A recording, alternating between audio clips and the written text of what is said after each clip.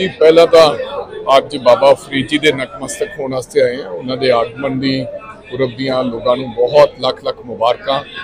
ਬਾਬਾ ਫਰੀਦ ਮਿਹਰ ਰੱਖਣ ਕਿਰਪਾ ਰੱਖਣ। ਪਹਿਲਾਂ ਤਾਂ ਪੰਜਾਬ ਤੇ ਔਰ ਪੰਜਾਬ ਦੇ ਲੋਕਾਂ ਤੇ ਸੁਖ ਸ਼ਾਂਤੀ ਬਣੀ ਰਹੇ। ਬਾਬਾ ਸੋ- ਫਰੀਦ ਦੇ ਫਲਸਫੇ ਨੂੰ ਅੱਜ ਸਾਰੀ ਦੁਨੀਆ ਮੰਨਦੀ ਹੈ ਕਿਸ ਤਰ੍ਹਾਂ ਆਪਣੇ ਜੀਵਨ ਵਿੱਚ ਅਪਣਾਉਣ ਦੀ ਲੋੜ ਹੈ। ਬਿਲਕੁਲ ਜੀ ਮੈਨੂੰ ਲੱਗਦਾ ਕਿ ਹਰ ਵਿਅਕਤੀ ਨੂੰ ਇਹ ਸੇਧ ਲੈਣ ਦੀ ਲੋੜ ਹੈ। ਨਾ ਕੇਵਲ ਕੱਲਾ ਮੱਥਾ ਟੇਕੀਏ ਆਗਮਨ ਪੁਰਬ ਮਨਾਈਏ ਉਹਨਾਂ ਦੇ ਨਕਸ਼ੇ ਕਦਮ ਤੇ ਵੀ ਸਾਨੂੰ ਚੱਲਣ ਦੀ ਲੋੜ ਹੈ। ਕਿਸ ਤਰੀਕੇ ਦੇ ਨਾਲ ਕਿਰਤ ਕਮਾਈ ਕੀਤੀ, ਕਿਸ ਤਰੀਕੇ ਨਾਲ ਭਲਾਈ ਦੇ ਕੰਮ ਕੀਤੇ, ਔਰ ਸਾਨੂੰ ਲੱਗਦਾ ਕਿ ਸਾਨੂੰ ਇਹ ਆਪਦੀ ਸੋਚ ਬਦਲਣ ਦੀ ਲੋੜ ਹੈ।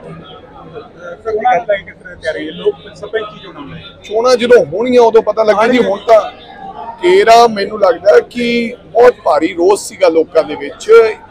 ਘੱਟੋ ਘੱਟ ਲੱਖ ਸਵਾ ਲੱਖ ਬੰਦੇ ਦੀ ਜਿਹੜੀ ਨੁਮਾਇੰਦਗੀ ਖਾਰਜ ਕਰ ਦਿੱਤੀ ਗਈ ਸੀ ਆਮ ਆਦਮੀ ਪਾਰਟੀ ਦੁਆਰਾ ਮੁੱਖ ਮੰਤਰੀ ਸਾਹਿਬ ਦੁਆਰਾ ਉਹ ਦੁਆਰੇ ਬਹਾਲ ਹੋਏ ਹੈ ਔਰ ਜਿਸ ਪ੍ਰਕਾਰ ਦਾ ਰੋਸ ਵੇਖਣ ਨੂੰ ਮਿਲ ਰਿਹਾ ਮੈਨੂੰ ਲੱਗਦਾ ਚੋਣਾਂ ਆਮ ਆਦਮੀ ਪਾਰਟੀ ਨੇ ਡਰਦਿਆਂ ਨੇ ਕਰਾਉਣੀਆਂ ਹੀ ਨਹੀਂ ਕਿਉਂਕਿ ਮੈਨੂੰ ਲੱਗਦਾ ਮੁਕੰਮਲ ਤੌਰ ਤੇ ਜਿਹੜੀਆਂ ਚੋਣਾਂ ਹੋਣੀਆਂ ਉਹ ਅਸੀਂ ਜਿੱਤਾਂਗੇ। ਸਰ ਕੈਨੇਡੀਅਨ ਸਰਕਾਰ ਦੀ ਗੱਲ ਕਰੀਏ ਤਾਂ ਉਹਨਾਂ ਨਾਲ ਹਾਂਜੀ। ਕਾਫੀ ਵਿਵਾਦ ਚੱਲ ਰਿਹਾ ਪੰਜਾਬ ਪਰਿਵਾਰ ਉੱਥੇ ਫਿਕਰਮੰਦ ਹੈ ਜੀ ਕੈਨੇਡਾ ਮਸਲੇ ਨੂੰ ਲੈ ਕੇ ਕੈਨੇਡਾ ਮਸਲੇ ਨੂੰ ਲੈ ਕੇ ਜੀ।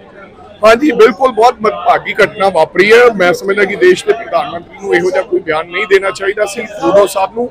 ਲੇਕਿਨ ਜਿਸ ਪ੍ਰਕਾਰ ਹਿੰਦੁਸਤਾਨ ਦੀ ਸਰਕਾਰ ਨੇ ਫੈਸਲਾ ਲਿਆ ਹੈ, ਉਹ ਵੀ ਕੋਈ ਬਹੁਤਾ ਚੰਗਾ ਫੈਸਲਾ ਨਹੀਂ ਹੈ ਕਿ ਪੰਜਾਬੀ 99% ਕੈਨੇਡਾ 'ਚ ਰਹਿੰਦੇ ਨੇ। ਕੱਲ ਨੂੰ ਉਹ ਉਹਨਾਂ ਨੇ ਇੱਥੇ ਆਉਣਾ ਹੈ, ਖੁਸ਼ੀਆਂ ਦੇ ਦਿਨ ਹੈ, ਕਿਸੇ ਦੇ ਤਿਉਹਾਰ ਦੇ ਦਿਨ ਹੈ, ਦੁੱਖ ਸੁੱਖ ਤੇ ਆਉਣਾ ਹੈ। ਔਰ ਜਿਹੜੇ ਸਿਟੀਜ਼ਨ ਨੇ, ਉਹ ਸਾਡੇ ਲੋਕ ਨੇ ਜਿਹੜੇ ਇੱਥੋਂ ਗਏ ਨੇ। ਅਗਰ ਉਹਨਾਂ ਨੂੰ ਵੀਜ਼ਾ ਨਹੀਂ ਮਿਲੇਗਾ ਤਾਂ ਉਹ ਕਿੱਦਾਂ ਆਉਣਗੇ? ਅਸੀਂ ਗੁਜ਼ਾਰਿਸ਼ ਕੀਤੀ ਹੈ ਕੇਂਦਰ ਸਰਕਾਰ ਨੂੰ ਕਿ ਅਸੀਂ ਹਿੰਦੁਸਤਾਨੀ ਔਰ ਹਿੰਦੁਸਤਾਨ ਦੇ ਨਾਲ ਹੈ। ਹਿੰਦੁਸਤਾਨ ਦੀ ਅਸੀਂ ਹਮੇਸ਼ਾ ਸੁੱਖ ਮੰਗਦੇ ਹਾਂ। ਲੇਕਿਨ ਮੈਨੂੰ ਲੱਗਦਾ ਇਹ ਧੱਕਾ ਹੋਏਗਾ ਕਿਉਂਕਿ ਮਿੰਨੀ ਪੰਜਾਬ ਕੈਨੇਡਾ ਦੇ ਵਿੱਚ ਹੈ। ਤੁਸੀਂ ਲੜਾਈ ਲੜੋ, ਅਸੀਂ ਥੋੜਾ ਸਾਥ ਦੇਾਂਗੇ ਟਰੂਡੋ ਨਾਲ ਲੜੋ। ਲੇਕਿਨ ਸਿਟੀਜ਼ਨ ਜਿਹੜੇ ਲੋਕਾਂ ਨੂੰ ਵੀਜ਼ਾ ਨਾ ਦੇਣ ਦੀ ਗੱਲ ਕੀਤੀ, ਉਹ ਮਾੜੀ ਹੈ। ਹਾਂਜੀ, ਅੱਜ ਬਾਬਾ ਫਰੀਦ ਜੀ ਦਾ ਆਗਮਨ ਹੈ ਔਰ Avtar Singh ji Brar memorial welfare society ਵੱਲੋਂ ਹਮੇਸ਼ਾ ਦੀ ਤਰ੍ਹਾਂ ਪਿਛਲੇ 7 ਸਾਲਾਂ ਤੋਂ ਸਾਡੇ ਬੱਬੂ ਬਰਾੜ ਜੀ, ਅਵਤਾਰ ਬਰਾੜ ਸਾਹਿਬ ਜੀ ਦੇ ਫਰਜ਼ੰਦ ਜ਼ਿਲ੍ਹਾ ਕਾਂਗਰਸ ਕਮੇਟੀ ਦੇ ਪ੍ਰਧਾਨ ਬੂਟਿਆਂ ਦਾ ਲੰਗਰ ਲਾਉਂਦੇ ਆ। ਅੱਜ ਮੈਂ ਤੇ ਸਮੁੱਚੀ ਲੀਡਰਸ਼ਿਪ ਕੁਸ਼ਲਦੀਪ ਢਿੱਲੋਂ ਜੀ ਦਾਖਾ ਸਾਹਿਬ ਕਰੀਰਾਜ ਸਾਹਿਬ, ਸਾਰੇ ਲੋਕ ਸਿੱਖਾਂ ਵਾਲੀ ਸਾਹਿਬ, ਅਸੀਂ ਅੱਜ ਇੱਥੇ ਪ੍ਰੋਗਰਾਮ ਸ਼ਮੂਲੀਅਤ ਕੀਤੀ ਹੈ। ਨਾਲੇ ਤਾਂ ਨਕਮਸਤਕ ਹੋ ਕੇ ਆਏ ਹਾਂ ਬਾਬਾ ਜੀ ਦੇ ਦਰ ਤੇ ਆਸ਼ੀਰਵਾਦ ਲੈ ਕੇ ਆਏ ਹਾਂ। ਔਰ ਨਾਲੇ ਅੱਜ ਇੱਥੇ ਜਿਹੜਾ ਬੂਟਿਆਂ ਦਾ ਲੰਗਰ ਲਾਇਆ ਗਿਆ ਇਸ ਸੁਸਾਇਟੀ ਵੱਲੋਂ ਪੂਰੇ ਸਾਰਿਆਂ ਨੇ ਸ਼ਮੂਲੀਅਤ ਕੀਤੀ ਹੈ।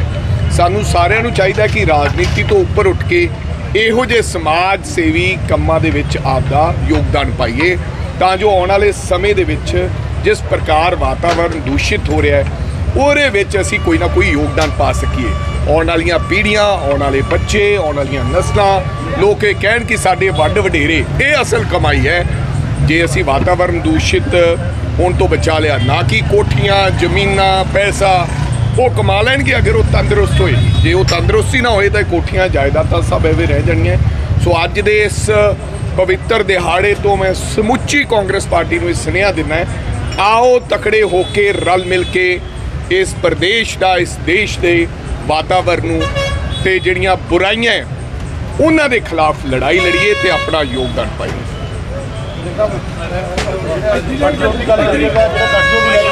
ਭਾਈ ਹੁਣ ਮੈਂ ਗੱਠ ਜੋੜ ਦੀ ਗੱਲ ਰੋਜ਼ ਅੰਤਰ ਨਹੀਂ ਦੇਣਾ। ਰੋਜ਼ ਮੈਨੂੰ ਕੋਈ ਪੁੱਛ ਲੈਂਦਾ।